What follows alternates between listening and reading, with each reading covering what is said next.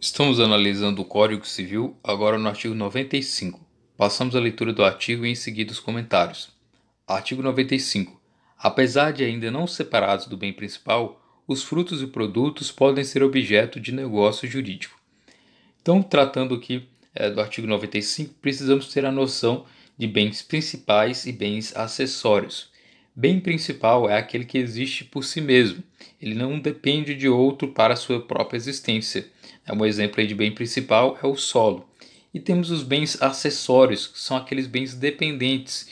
Essa existência desse bem acessório depende do bem principal. É, temos a, o chamado aí, princípio da gravitação jurídica, né? em que o bem acessório ele segue o principal, salvo disposição em contrário, né? exceto, por exemplo, no caso, as pertences. Né? Então, temos vários tipos de bens acessórios, dentre eles os frutos, os produtos, né? os rendimentos, benfeitorias, é, pertenças, etc. Né? Aqui o artigo 95 vai tratar sobre os frutos e produtos. Né? O que são frutos? Frutos são bens acessórios que se originam do principal, ou seja, sua origem vem do bem principal, sem aí uma diminuição da sua substância ou quantidade. Então, o bem principal se mantém íntegro, porém ele gera um fruto. E quais são esses tipos de frutos? Né? Temos aí uma classificação quanto à origem é, dos frutos. Temos os frutos naturais, frutos industriais e frutos civis. Frutos naturais são aqueles que é, se desenvolvem e se renovam de forma periódica, né, pela força orgânica, pela força natural da própria coisa. Mesmo com a interferência do homem, esse processo ainda é, se mantém é, e ainda há a possibilidade desse fruto ser gerado. Um exemplo aí, claro, é a criação de animais ou os próprios frutos, os próprios alimentos que são derivados das árvores, das plantações, etc. Então, são frutos naturais. Temos ainda os chamados frutos industriais, são aqueles que decorrem de uma atividade humana, industrial propriamente. Né? Então, são materiais, por exemplo, produzidos numa fábrica.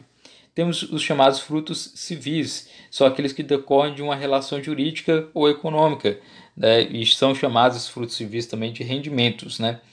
Então, frutos civis é, podem ser prestações periódicas, né? por exemplo, em dinheiro, decorrentes de uma concessão de uso, de um gozo de um bem, etc são rendimentos, né? Então temos aí frutos naturais, frutos industriais e frutos civis. Existe também a classificação quanto ao estado dos frutos. Né? São estados pendentes, é, frutos é, percebidos, frutos estantes e frutos percepiendos e frutos consumidos.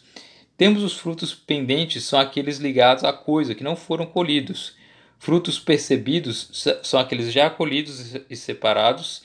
Frutos estantes aqueles colhidos e armazenados, e frutos percepiendos, são aqueles frutos que deveriam ter sido colhidos, mas não foram. E temos os frutos consumidos, aqueles que já foram colhidos e consumidos. Né? Um exemplo é a maçã colhida e vendida. Então, esses são os estados é, aí dos frutos, né? pendentes, ainda ligado à coisa não colhido, percebidos, já colhidos e separados, estantes, colhidos e armazenados, percepiendos, são aqueles que deveriam ter sido colhidos, mas não foram, e consumidos são aqueles frutos colhidos e consumidos propriamente.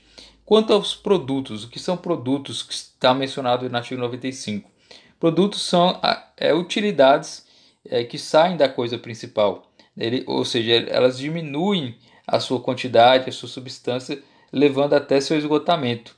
É, um exemplo claro aí de produtos é o petróleo né, de um poço. Né? Uma vez que você retira o petróleo, ele vai é, reduzindo a quantidade daquele bem principal propriamente. Então temos aí frutos e produtos. A principal diferença entre frutos e produtos é que frutos não diminui a substância, não diminui a quantidade do bem principal, enquanto que é, o, o, produto ele reduz a substância e a quantidade, embora seja algo que possa ser extraído do bem principal. Né?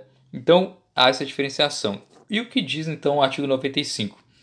Apesar de não separados do bem principal, ou seja, mesmo não estando separados do bem principal, porque são bens acessórios, né, no caso aqui os frutos seriam caso os frutos percebidos, né, ou frutos é, pendentes no caso, né, seriam no caso os frutos pendentes, ou ainda produtos que estão pendentes também, esses podem ser objeto de negócio jurídico. Então, por exemplo, é, existe aí uma plantação e essa plantação não foi colhida ainda, está ainda em produção, está ainda em armazenamento, está sendo é, é, organizada, sendo preparada e ainda não está pronta para ser colhida.